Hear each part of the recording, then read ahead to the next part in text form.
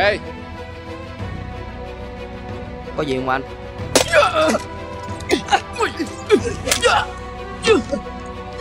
Nằm im.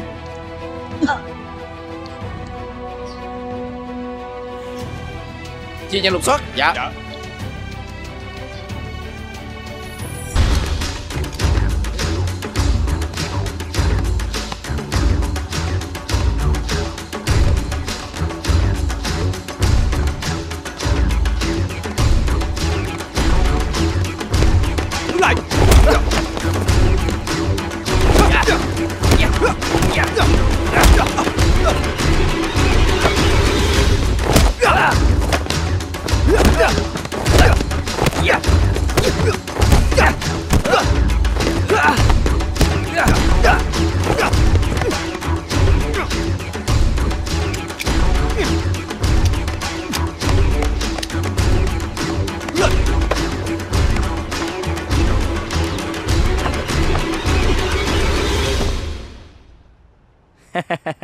Làm cái gì mà anh bắt tôi? Mày im đi. Anh liền đâu? Alin Alin là ai tôi đâu có biết. Anh không tìm thấy hắn ta đâu hết. Dạ không thấy. Dẫn tất cả về đội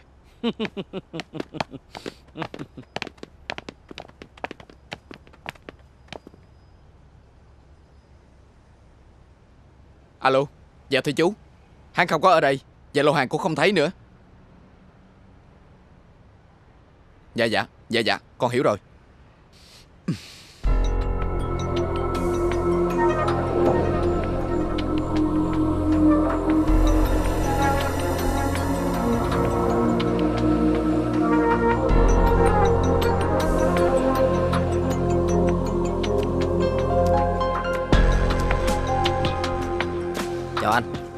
Ra sao rồi. Dạ Đúng như anh đã dự đoán. Nó tính chi chiêu Nhưng nó đã bị mình lừa. Đây là tất cả số hàng đã về lại. Kiểm tra đi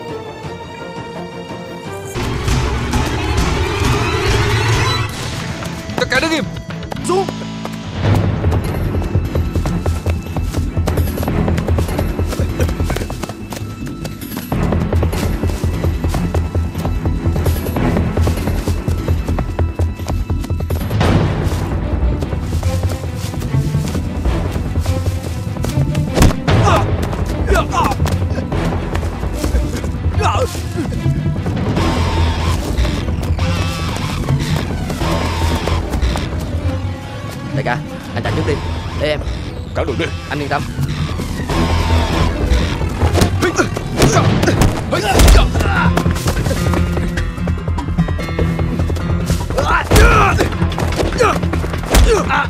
theo anh liền đi. Giờ hắn anh đó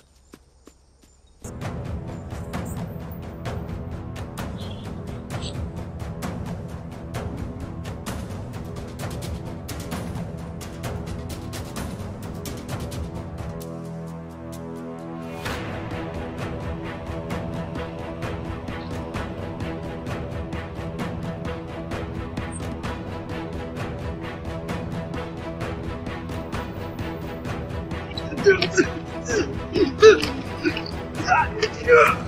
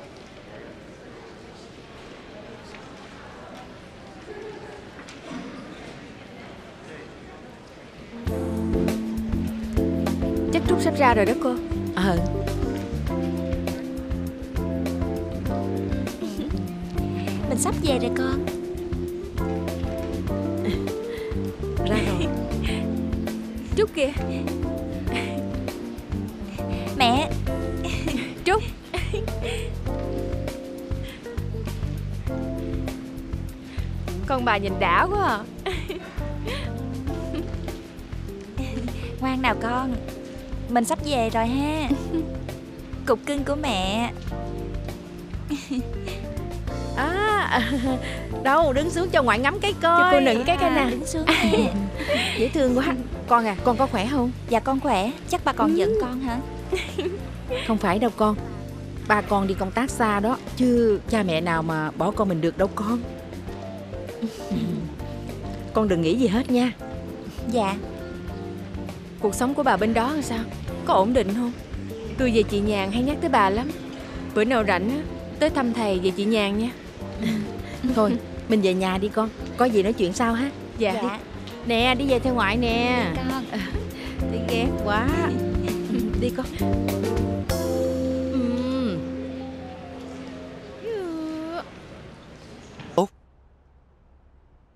Tôi mong khi cậu về hòa nhập với cộng đồng, cậu phải giữ vững ý chí, đừng quay về con đường cũ nữa.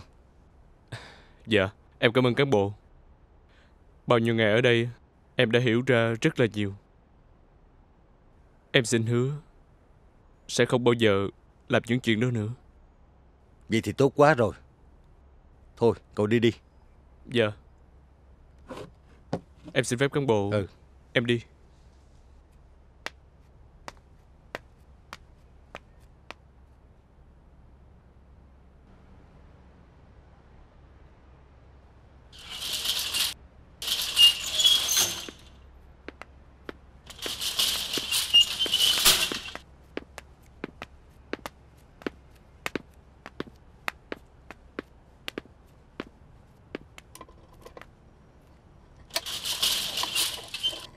Cảm ơn.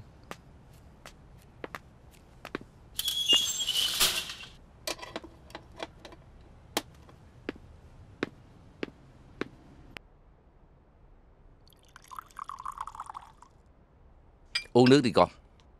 Dạ con cảm ơn chú nhiều lắm. Nhờ vậy mà bây giờ nhàn Con của thầy con đã được an toàn. Không riêng gì cá nhân của chúng ta đâu. An toàn của người dân Đều phải được đặt lên hàng đầu. Vì à, chúng ta là công an Thì phải bảo vệ cho người dân. Con và đồng đội vừa rồi Hoàn thành nhiệm vụ rất là tốt. Cấp trên đã đề nghị khen thưởng cho tất cả Nhất là con đó. Dạ con cảm ơn chú. Cũng nhờ sự chỉ đạo và tính toán phương án chính xác Mà tất cả anh em tụi con Mới hoàn thành tốt nhiệm vụ như vậy Uống nước đi con Dạ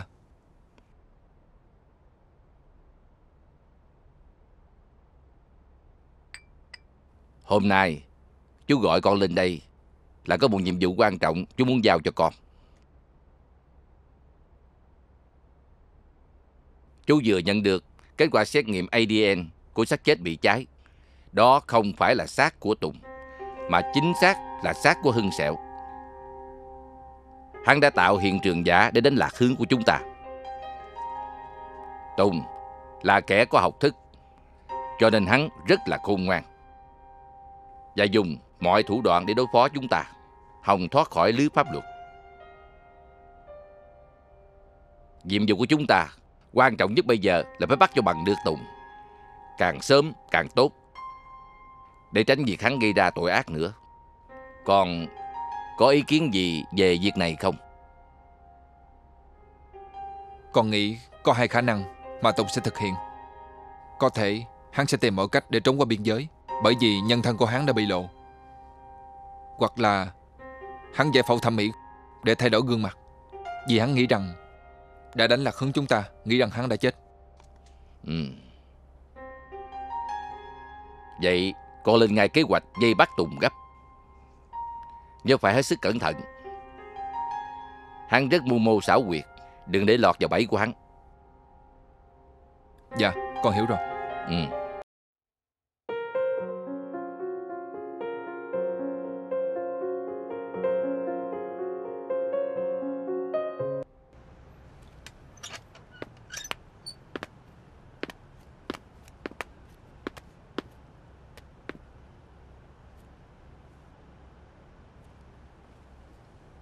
Được rồi, đi đi. Dạ, cảm ơn anh.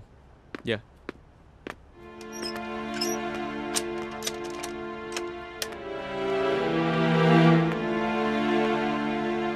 Mẹ ơi, con về đây.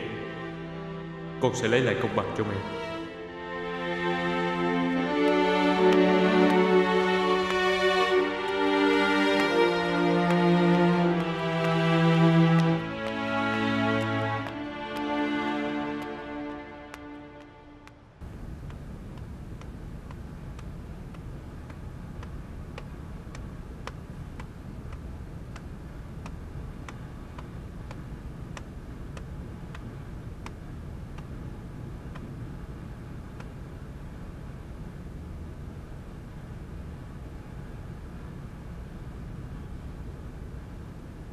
Tôi nhận được tin về Tùng. Hắn đang ở trong căn nhà quan gần biên giới. Đề nghị các đồng chí triển khai theo kế hoạch. Nhớ là hết sức cảnh giác. Không để cho đối tượng thoát. Phải bằng mọi cách bắt sống đối tượng.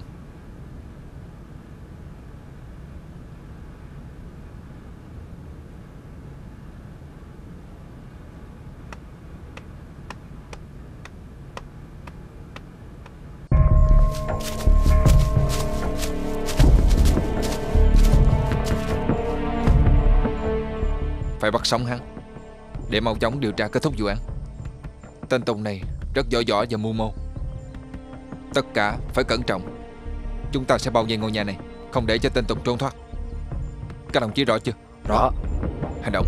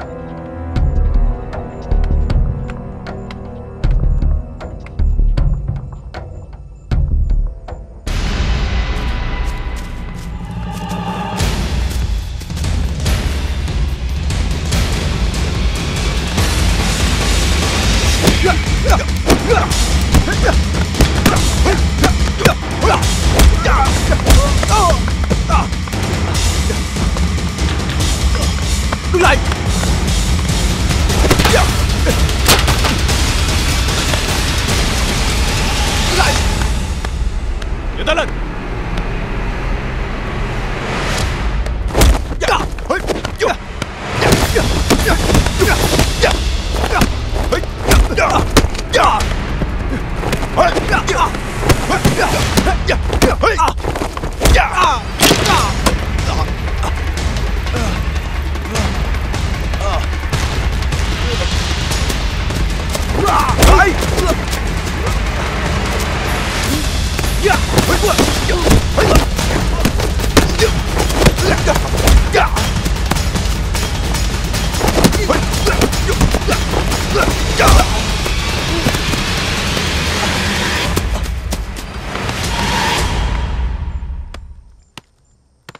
ra là mày. Được.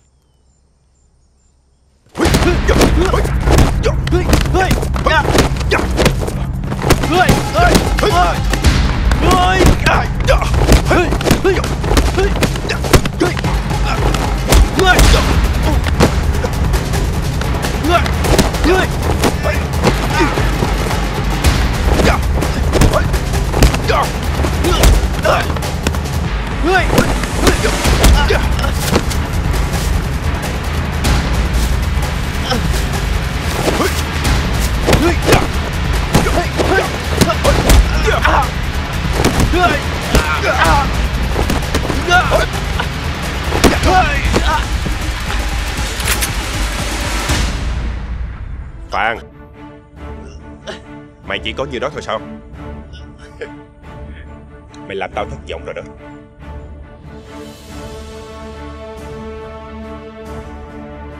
Ai?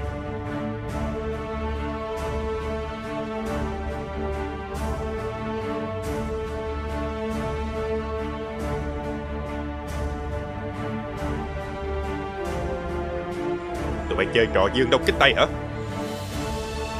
Tao không phục. Mày không phục. Được. Nếu mày thích Tao sẽ chơi với mày.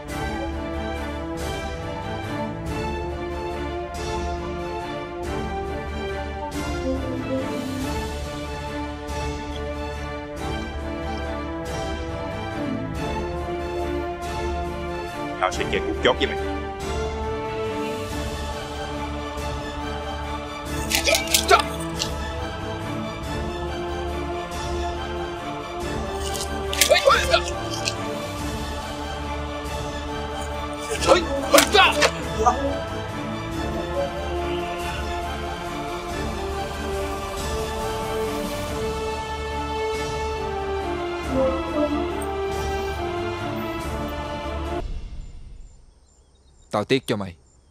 Một thằng học thức cao, Lại không dùng khả năng của mình làm việc có ích, Mà toàn làm những chuyện hại người. Đáng phải nhận hậu quả như vậy. Giải hắn đi. Tao sẽ về kiếm mày.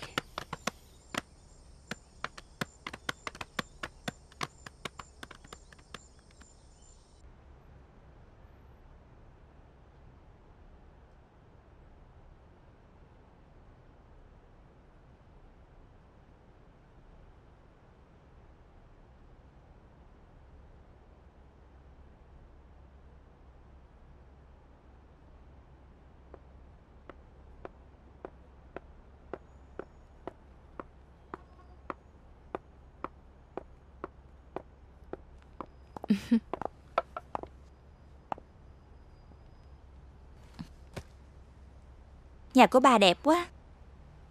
Bà giỏi thiệt. Còn trẻ vậy Mà đã có cả một cây nghê như vậy rồi. Bà thiệt là hạnh phúc quá. Ừ Tụi mình qua thầy liền đi. Lâu quá rồi Không có gặp thầy. Không biết sức khỏe của thầy dạo này ra sao nữa. Ừ, vậy nha. Chờ tôi xíu. Ừ.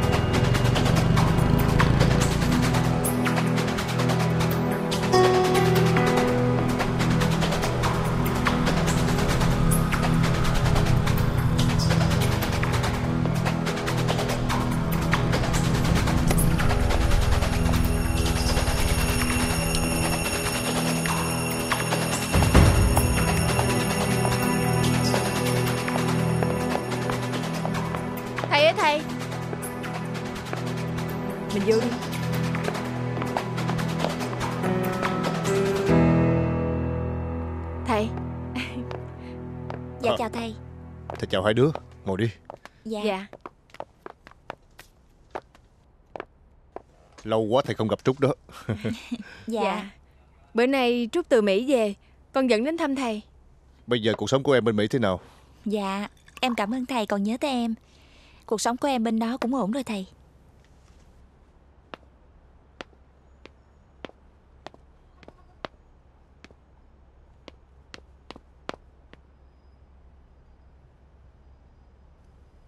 Hai đứa uống nước đi Sức khỏe của thầy và chị Nhàn có tốt không ạ? À, em nghe Lan nói á, là chị Nhàn chữa được mắt rồi phải không thầy? Đúng rồi em ờ, Con gái của thầy đã nhìn thấy được rồi Bây giờ sức khỏe nó rất là tốt Để thầy vô gọi nó nghe Dạ. Hai đứa Dạ. còn chơi nghe Con ơi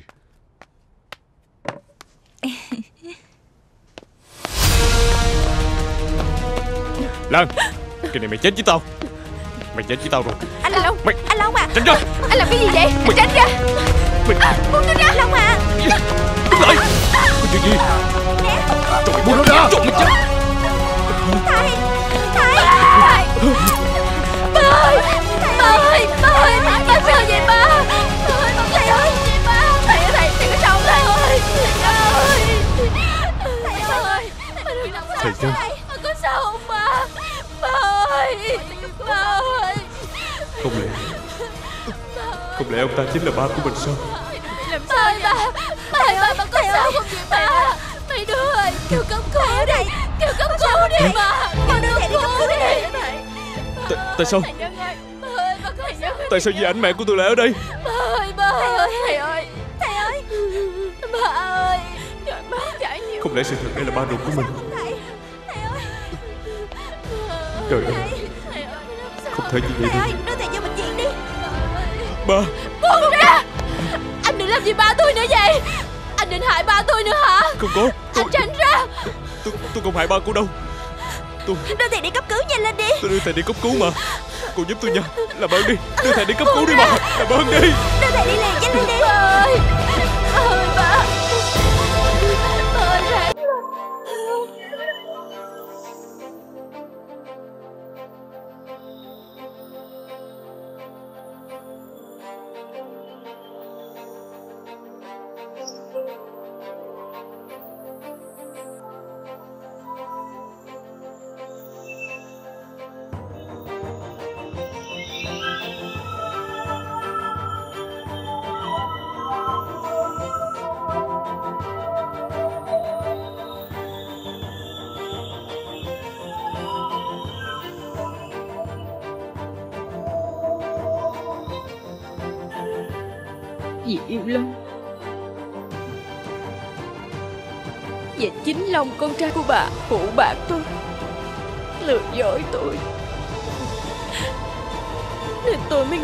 cách trả thù. Tôi không ngờ Cuối cùng lại nhận kết quả như vậy. Tôi đã gián tiếp hại chết bà. Tôi có lỗi với bà. Tôi xin bà hãy tha lỗi cho tôi.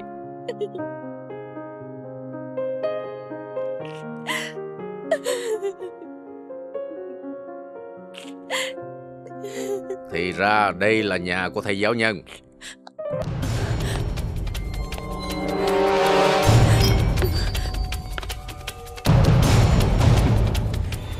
Mày không ngờ tao tìm đến đây để hỏi tội mày đúng không?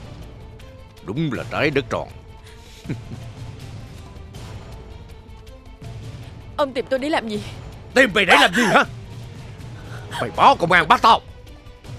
Tài sản của tao bị niêm phong Rồi mày chiếm đoạt tài sản của tao. Mà mày đứng tên Mày giỏi lắm. Tao không ngờ sau tiếng này có ngày bị con rắn ma như mày xỏ mũi. Ông muốn gì? Muốn gì hả? Mau trả hết tài sản lại cho tao. Những tài sản của ông là những tài sản phi pháp. Tôi không cần những thứ đó nữa. Vậy thì tốt lắm. Mau đi theo tao tới ngân hàng. Rút hết cái số tiền. Mày đã đứng tên Kể cả căn nhà mày đang ở Mang đi. Mày chuyển gấp tiền cho tao. Mày hiểu chưa? Nếu mày không làm Mày đừng có trách tao. Đứng dậy. Tôi không đi đâu hết. Tất cả những tài sản của ông tôi sẽ giao nộp cho công an. Ông buông tôi ra. Mày có làm không?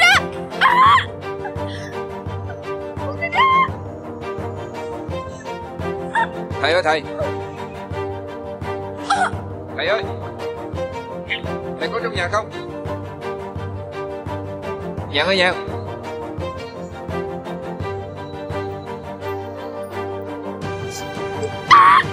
Nè Cô có sao không?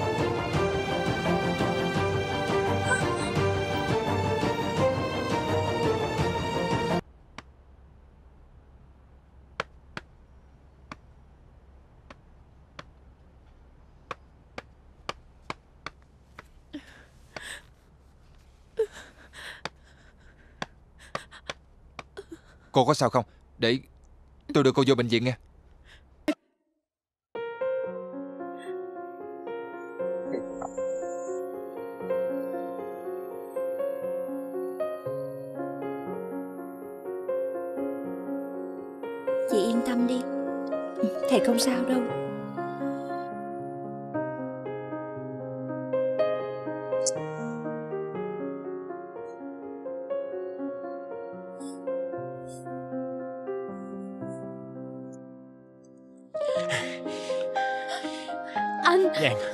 Sao rồi em? Bà Bà được cấp cứu ở trong đó đó Em cũng không biết nữa. Không sao đâu. Bác sĩ? Ai là người nhà của ông Nhân? Ờ tôi Dạ Thưa bác sĩ Là tôi nè. Ông Nhân đã qua cơn nguy kịch. Chúng tôi sẽ chuyển ông đến phòng chăm sóc đặc biệt. Dạ. Anh chị hãy đến đó để thăm ổng. Dạ. Đây Đi hướng này quẹo trái. Cảm ơn bác sĩ. Không có gì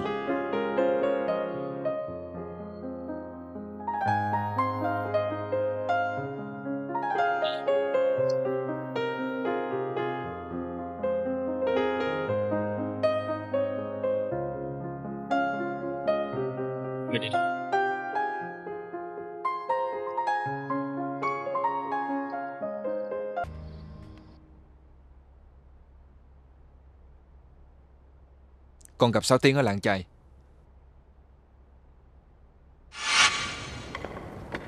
Dạ em mời anh ngồi. Nè anh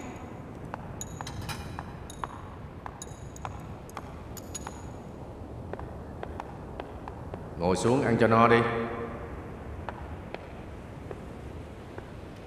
Đêm qua tôi ngồi trên bãi biển. Thấy cậu nằm dài trên cát Người thì ướt sũng. Vì vậy chúng tôi đưa cậu về nhà thay đồ và sưởi ấm cho cậu Thấy hơi thở cậu đều đặn trở lại Thì tôi biết cậu không có sao hết Tôi cá với ông bạn của tôi nè Cậu ngủ một giấc là sẽ khỏe lại thôi Sao rồi, chịu thua tôi chưa? Chiếc vali này của cậu phải không? Dạ đúng rồi, cảm ơn anh Trong đó có gì? Dạ Mấy bình bột trắng phải không?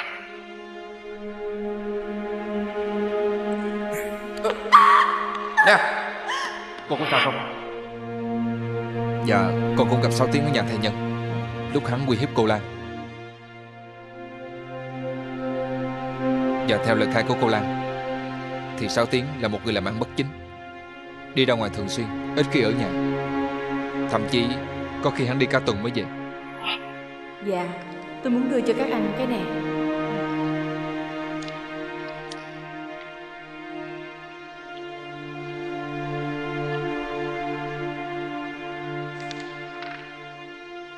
Tôi hy vọng là các anh sẽ giữ bí mật. Đừng để lộ thông tin là tôi đã cung cấp. Cho ai biết?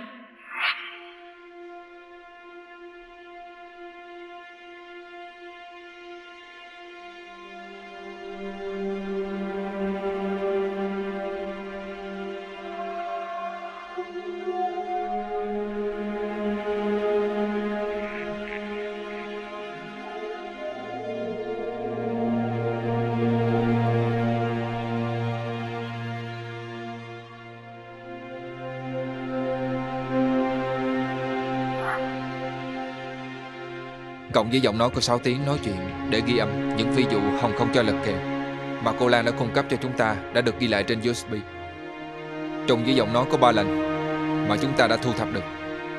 So sánh thời gian đi về về này Có sự trùng khớp với sự xuất hiện của ba lành. Điều đó chứng tỏ 6 tiếng chính là ba lành, Thưa chú. Ừ. Con nói rất đúng. Đó chỉ là một người thôi.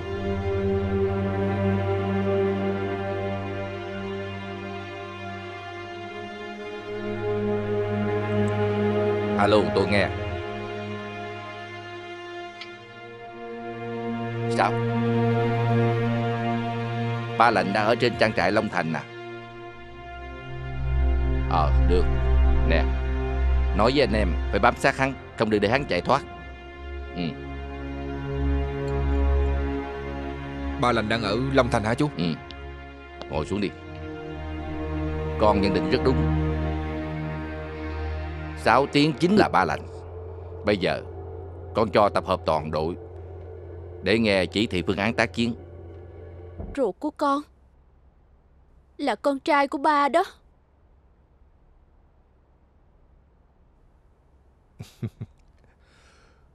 Cậu nói cái gì vậy?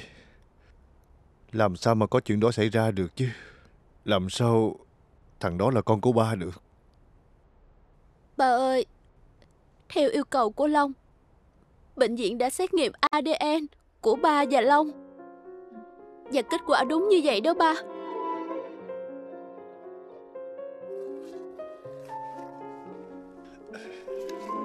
Long còn gửi cho con một bức thư Mà chính tay của mẹ đã gửi cho Long. Lúc Long còn ở trong trại cai nghiện á, Trước khi mẹ con tự tử vì bị 6 tiếng phụ bạc. Ép buộc mẹ con phải ly dị.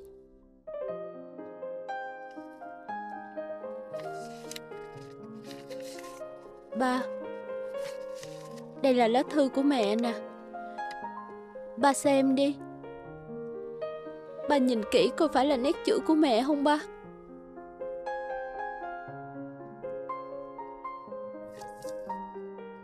Đúng rồi con. Đúng Đúng là nét chữ của mẹ con rồi.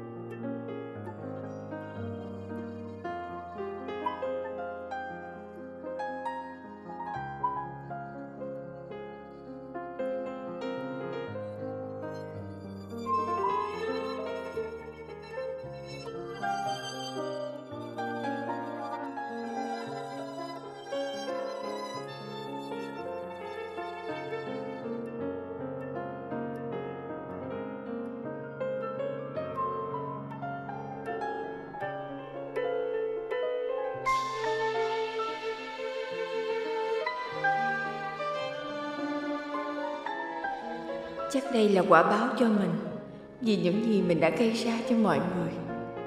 Cuối cùng, Rồi mình được cái gì chứ? Có tài sản rồi, Nhưng không có má ở bên cạnh. Làm cho thầy Nhân bị trọng thương, Mình lại nhẫn tâm bỏ đi đứa con chưa tượng hình. Giờ đây, Chỉ còn lại một mình với vết sẹo này mà thôi.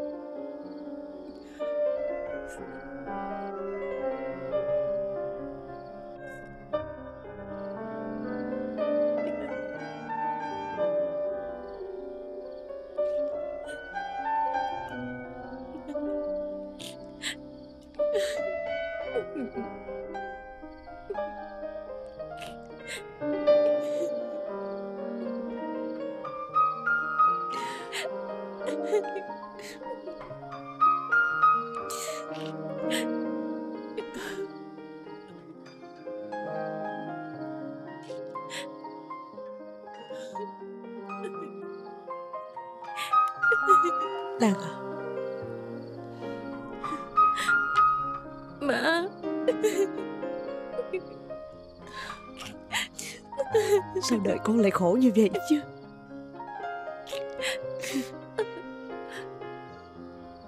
Má Đó là do con làm. Con phải nhận lấy. Con chỉ xin má Hãy tha lỗi cho con đi má. Con người mẹ nào mà bỏ con đâu chứ? Má chỉ thấy đau lòng khi thấy con phải nếm trải nhiều cái đắng mùi đời đến như vậy. Vì con không nghe lời má, Con đã đi sai đường. Con biết lỗi của con rồi. Con đã ra công an, Con trả hết tài sản con đã chiếm của ông ấy Bây giờ con hứa với má con sẽ làm lại từ đầu. Con tin Qua sự vấp ngã quá lớn này có má luôn bên con. Rồi con sẽ đứng lên được, đúng không má? Con của má đã lớn thật rồi.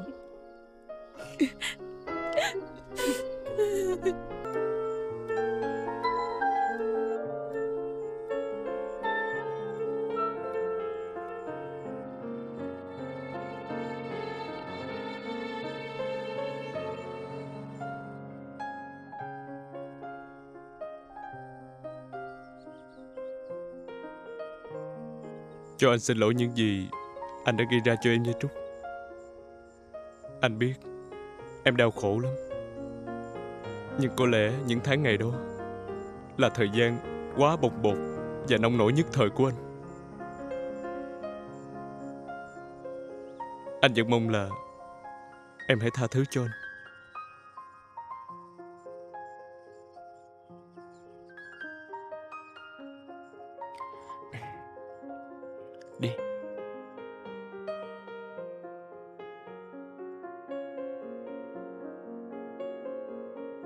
Long Ờ, dạ. Em có biết là Trúc đã có một đứa con trai 2 tuổi là con của em không? Con, con trai. Trúc. Có thiệt không em? À đúng rồi. Có lần em nói với anh Là em có thai. Thì, thì ra cái thai đó là em còn giữ hả? Anh Anh thật sự Có lỗi với em quá Trúc ơi. Ai cũng có lỗi lầm Nhưng phải biết sửa chữa để xóa hết nỗi niềm Và tổn thương đó. Mà đón nhận thực tại Thì lòng Trúc. mình mới thanh thản hơn. Trúc à Em có thể tha thứ tội cho Long được không em?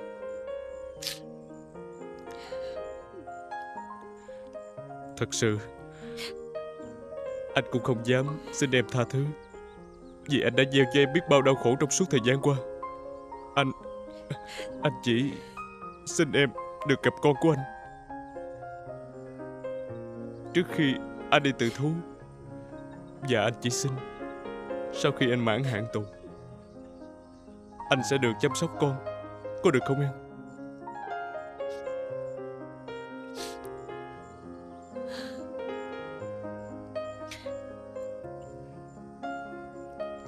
Em đem con về đây. Thật sự, Em chỉ mong được gặp anh, Để cho con được biết mặt anh. Rồi em sẽ đem nó về Mỹ.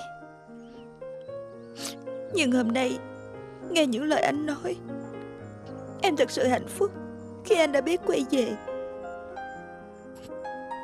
Có người phụ nữ nào Mà muốn con mình không cha đâu anh? Trúc ơi. Anh mới thật sự là người hạnh phúc nè. Khi mà nghe em nói những điều này Anh cảm ơn em. Cảm ơn em nhiều lắm. Hay ha Tự nhiên đùng một cái anh được lên chức dượng luôn đó. Anh tính làm dượng của ai? Thì là con của Long Mà Long là em vợ của anh Cho nên là con của Long Phải gọi anh là dượng Đúng không bà xã Cái gì? Ai bà xã của anh? Anh này Anh này Anh chết đi. Đứng lại Đứng lại đó.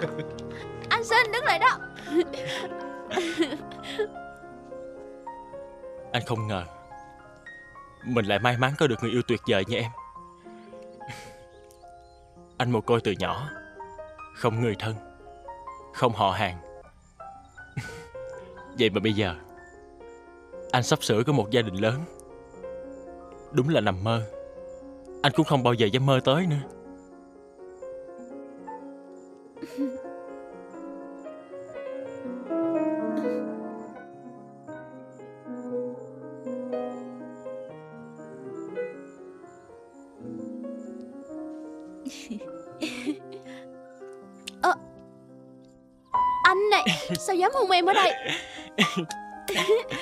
Thôi nè. Thôi lại. hơn nữa. Đứng anh lại Thôi. Đứng lại. Thôi. Anh xin Đứng lại. Chờ em với. Anh xin Anh xin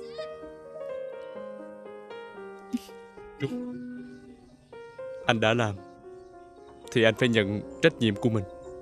Ngày mai Anh sẽ đi tự thú. Anh không muốn mình cứ phải rai rứt trong lòng Vì chuyện anh đã đâm ba Hay những chuyện xấu xa mà trước đây anh đã gây ra cho mọi người. Anh phải hoàn toàn trong sạch. Để có thể đón chào những ngày mới tốt đẹp hơn. Nếu như em vẫn còn yêu anh, Thì hãy ủng hộ anh Và cho anh thêm nghị lực. Có được không em?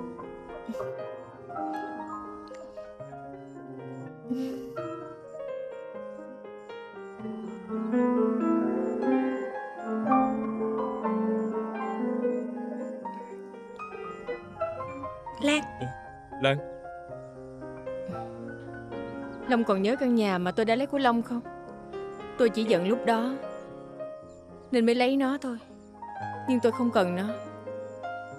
Nay Long quay về Tôi xin trả lại cho chủ nhân của nó. Và tôi nghĩ gia đình của hai bạn lúc này Cũng cần một mái ấm. Tôi Thật sự không dám nhận lời căn nhà đó. Long cứ nhận lại đi. Tôi xin Long đó. Có nhà Thì Long mới lo được cho Trúc và con của hai người được chứ. Nhà nào vậy Lan? Sao tôi không biết vậy? Có lẽ Trúc không nên biết. Cái gì đã qua để cho nó qua đi Nên cho nó quay về quá khứ. Còn bây giờ Chúng ta nên chấp nhận hiện tại được không? Ừ. Cho Long xin lỗi Lan nha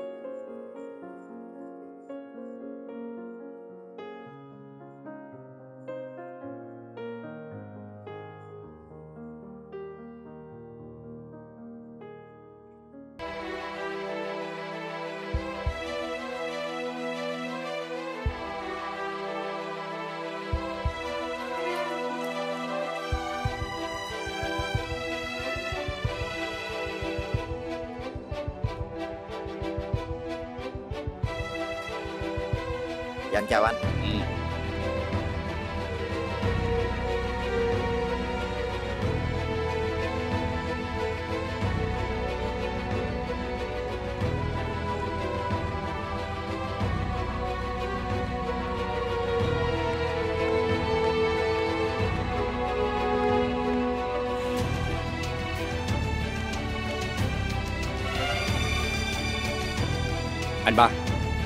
Có động tĩnh gì ở bên ngoài không?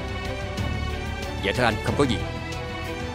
Vậy là bọn cướm chưa biết tàu sông ở đây. Anh ba ở đây rất là an toàn. Với vô bọc chủ trang trại bò sữa. Lúc nào cũng làm từ thiện, Giúp đỡ người nghèo khổ, Rất được bà con quý mến. Thì ai mà nghi ngờ, Kể cả Thánh á, Thì cũng không nghĩ anh lộng trùng ma túy. Tôi thấy anh ba ở đây là an toàn nhất. Không được chủ quan. Thân phận 6 tiếng chủ công ty mua giới nhà đất ở Sài Gòn Mà bị thằng Phan nó phát hiện rồi. Trước sau gì nó cũng mò tới đây thôi. Vậy bây giờ tính sao anh? Phải rời khỏi Việt Nam càng sớm càng tốt. Hay mình chờ tới tối xuất phát anh. Bây giờ em phải cho người sắp xếp nữa. Mày đã chuẩn bị kế hoạch xong chưa? Dạ rồi anh. Phải thay đổi kế hoạch. Lên đường ngay Chỗ này nguy hiểm lắm rồi Bắt buộc là phải đi sớm hơn dự kiến. Tên Phan không phải là đứa trẻ như mình nghĩ đâu. Dạ em biết rồi. Dạ anh chào anh.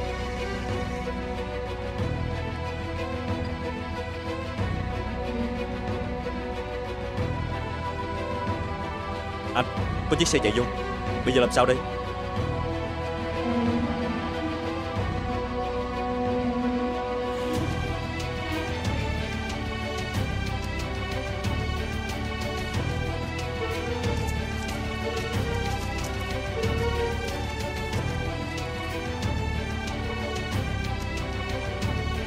ra, giờ sao anh?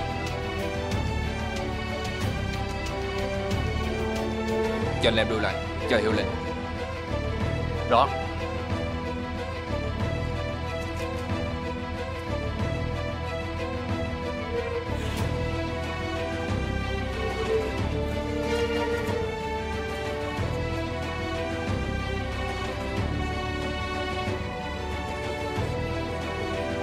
Báo cáo Bọn chúng chuẩn bị xuất phát Trên xe có chở cọp. Có đúng là chở cọp không? Dạ chính xác. Một nhóm bám sát theo dõi đối tượng. Nhóm thứ hai theo dõi ngôi nhà. Rõ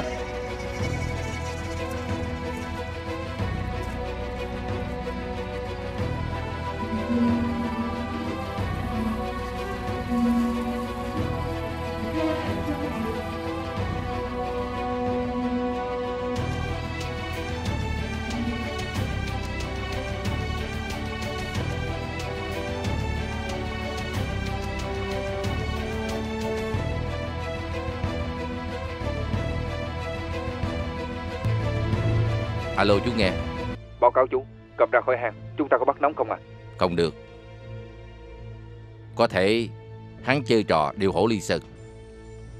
Có khả năng là kẻ giả dạng thế dài, cứ bám sát đối tượng đi. Chờ lúc thuận tiện hay hành động. Nhớ tránh xa khu dân cư Nhằm tránh thương vong cho thường dân. Dạ con hiểu.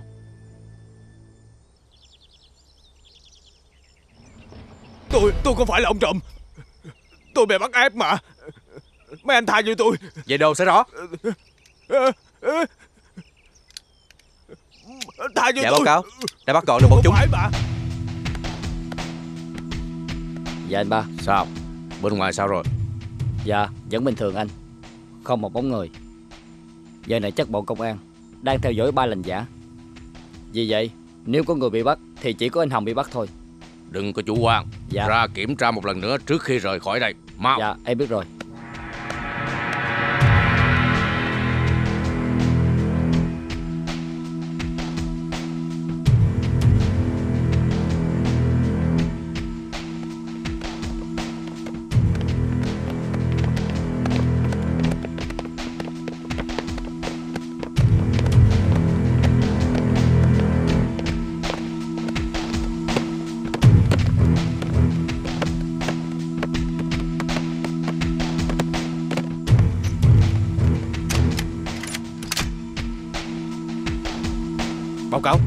xe tải chuẩn bị rời khỏi hang.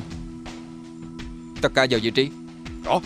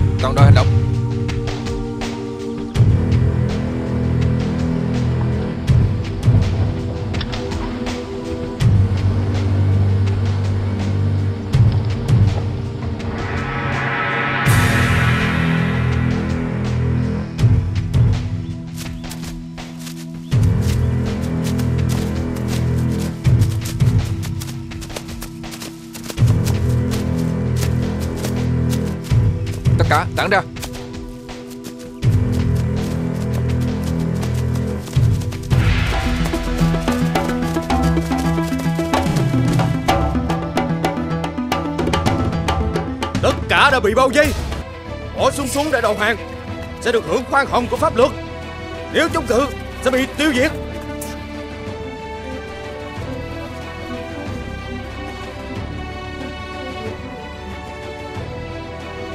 Đứng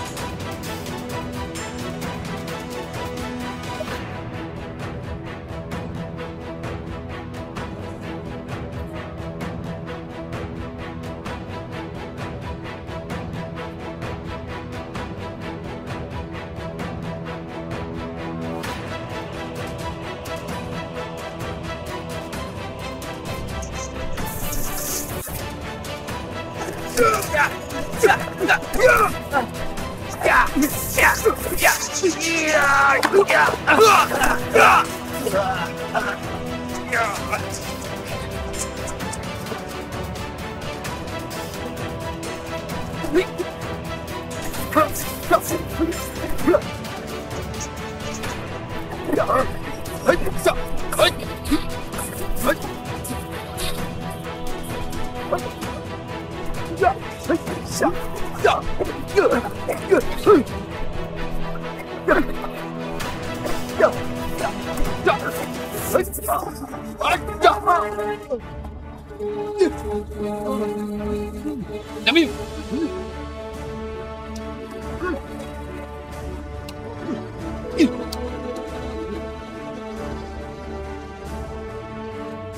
Ba Lan Ông đã bị bắt. Tôi tên là Sáu Tiếng mà. Đúng. Ông là Sáu Tiếng. Nhưng cũng là tên Ba Lan Trùm ma túy giống ông Đi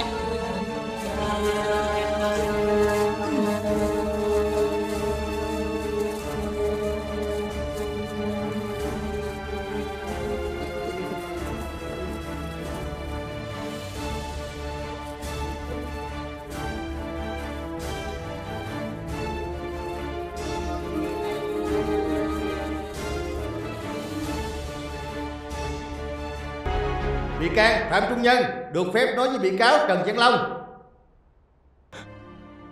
Rất hối hận về hành động của mình. Suýt chút nữa Con đã tự tay giết chết ba ruột của mình.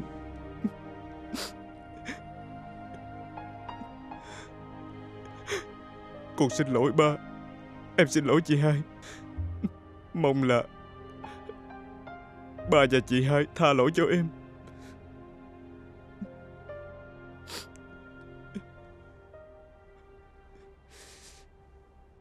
Mời đại diện viện kiểm sát đọc nghị án về mức xử phạt của tòa đối với bị cáo. Thưa quý tòa, căn cứ theo điều 114 Bộ luật hình sự quy định về tội cố ý gây thương tích hoặc gây nguy hại cho sức khỏe của người khác, Căn cứ theo đơn xin bãi nại của bị can Phạm Trung Nhân và cô Nguyễn Thúy Lan sẽ thấy sự ăn năn của bị cáo Trần Văn Long. Bị cáo Long đã ra đầu thú.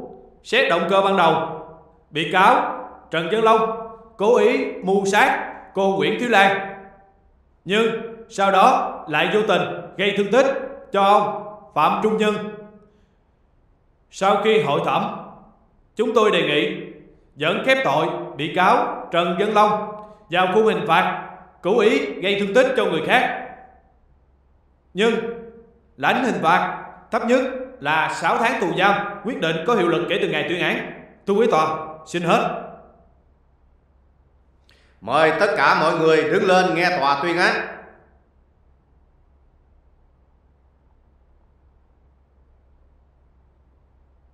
Tòa tuyên án quyết định bị cáo Trần Văn Long lãnh mức hình phạt 6 tháng tù giam, quyết định có hiệu lực kể từ ngày tòa tuyên án. Bãi tòa. Các đồng chí đã làm tốt lắm. Chúng ta không ai bị thương vong.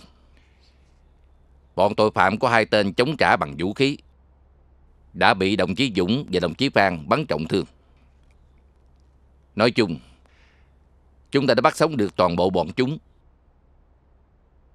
Như vậy, rất tốt cho việc điều tra kết thúc chuyên án. Nhất là chúng ta bắt được tên trùm ma túy giấu mặt ba lành.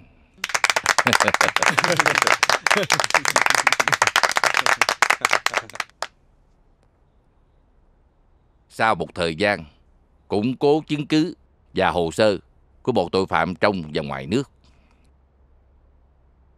Với những tin tức quý giá của trinh sát tài trí của chúng ta với bí danh là H1. Chúng ta đã có đầy đủ chứng cứ để đưa tất cả bọn tội phạm ra trước dành móng ngựa. Giờ đây, chúng sẽ phải chịu trách nhiệm trước pháp luật.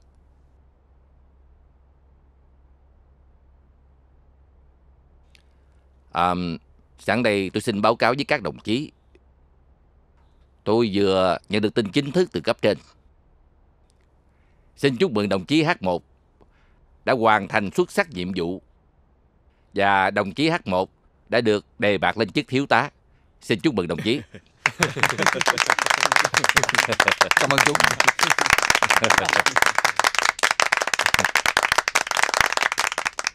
Con xin cố gắng phát huy hết khả năng của mình để hoàn thành tốt nhiệm vụ mà lãnh đạo đã giao phó. Tốt lắm. Một lần nữa, chúng ta hoan nghênh những chiến công của H1 đã mang về cho đội trọng án của chúng ta. Xin chúc mừng nha. Chúc mừng. Chúc mừng cậu. Cảm ơn. Chúc mừng Chúc mừng anh. Cảm ơn tất cả các Dạ, đồng chí. Chúc mừng anh. Cảm ơn. Chúc mừng anh. Dạ. Chúc mừng anh. Cảm ơn.